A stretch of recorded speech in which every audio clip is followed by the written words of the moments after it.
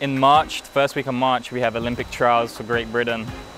And I'm gonna be swimming the 50 freestyle and the 100 freestyle. Pretty much I'm gonna have to swim all out because, you know, it's unexpected what people are gonna go these days. Because it's Olympic trials, people are gonna have adrenaline inside them and perform out their minds. So semi-final is going to be a tough one as well and then they're going to take the top two from the final to the Olympics so and right now I'm ranked number five in the in the so I'm in the running so it's going to be pretty good so they take the top two and I'm only 0.3 or 0.4 off the top the, the, the top two guys so it's going to be a close one and also there's the 100 freestyle which is um, a couple of days after the 50 so it will good to be have the 50 first because that will get me get my speed up for the 100.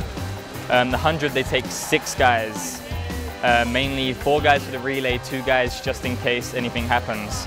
And right now I'm ranked number 10 right now, so it's going to be pretty close whether I make it or not. So, and all of the guys are right in there. There's there's probably about 12 or 13 guys who are right in the race for the, to make the Olympic team for the 100 freestyle, so it's going to be a good one. Making the Olympics is probably my ultimate goal.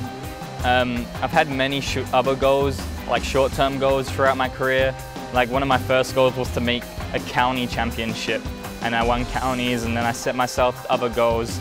So when I won nationals one year, I I thought, well, maybe I should just go on and make the Olympics my goal. So I've taken each step by step and the Olympics is definitely my ultimate goal. Ever since I found out that the Olympics would be in London, then that kind of pushed me more forward to reaching that goal and has actually made me a better contender for the Olympic Games. The crowd's going to be on our side, if like in, on my side at Olympic trials because I'm going to have a lot of fans there because this is my hometown. So everyone's going to be supporting me, which is going to get me pumped up for the race more. Um, it's going to be pretty cool because I grew up in London and right where the pool is, is I, grew up about 20 minutes away, so I'm pretty familiar with the area.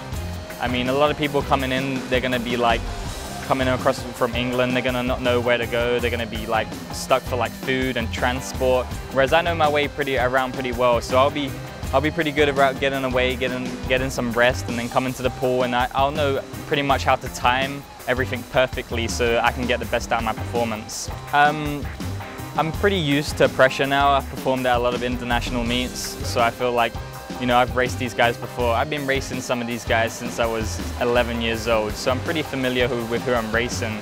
So it never really, the pressure nearly really gets to me.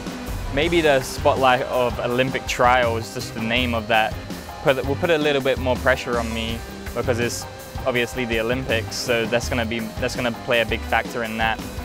But I'm pretty confident. I work hard every day. I come into the pool twice a day, every day, and I pretty much do my thing in the pool. And so I should be ready.